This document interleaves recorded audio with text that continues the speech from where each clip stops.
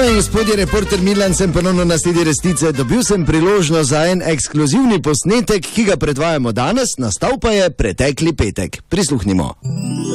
Dame in gospodje, reporter Milan sem ponovno na sledi resnice. Ta trenutek pred eno od mariborskih turističnih agencij. Namreč imam tihi dogovor z gospod Silverjevo, da mi javi, ko, se bodo, eh, ko bo se gospod Herman Silver odločil, da popelje družino turistično agencijo, da rezervirajo potovanje čez prvomajske praznike.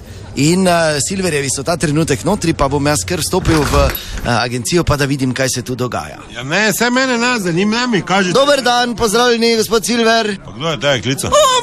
Zdravo! Silver. Kaj ti boš, ti vsako družinsko intimno zadevo do tega vpletaš, ali kaj? Nisem jaz bila, sam je prišel. Slučajno sem mimo prišel. Mi mir, ker nima tu človek zdaj cajta za me. Da te bom jaz počakal, ja? Ja, pa izklopi, ne boš nič s tem. Jaz se nimam vklopljeno.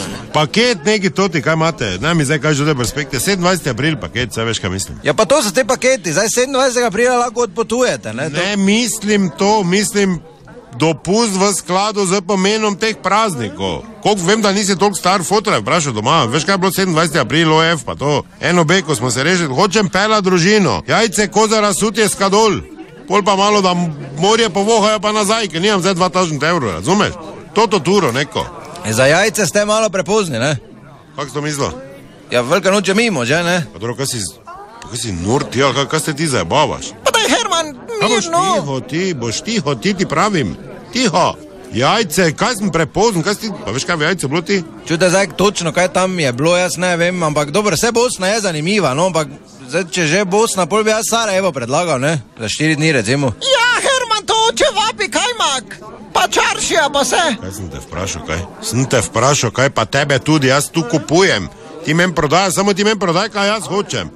Si čuti jajce, kozara, sutjeska, hoče mi, da otroci vidijo. A da, Belek, Belek bi šel. Kaj? Belek v Turčiji, tam imajo to boga največji. Pa kako Turčijo mi mešate z našo zgodovino? Kako Turčijo? Herman, če pa piše tu lepo naša in vaša Turčija. Moja ni, lahko je tvoja, lahko je tvoja pa od frocov tvojih. Pa idite z nekim kamionarom dol, da vas sploh ne vidim več. Jajce, kozara, sutjeska, sem te rekel zadnjič tebi. Ja, tega nimamo. Plus drvar, plus drvar. Ja, to je zdaj predvidevam, da je blizu. Noro, kaj si ti nora, kaj si?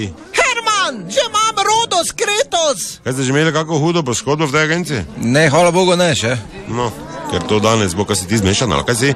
Kaki kretos rodos? Kaj si bolana ti? Ja, Herman, se pa tam so tudi padalci bili, pa je, da če greš, še najdeš kako padalo tam. Jajce, sutjeska, kozara, drvar, ti pravim. Dobro, koliko krat če moram povedati, nimam tega programa. Ja pa kliči dol, neki Bosna Tours, ne mi uredijo to, kaj si zmešan. Moj... Herman, kaj pa horgada, all inclusive, lahko ješ cel dan. Kaj si nora ti?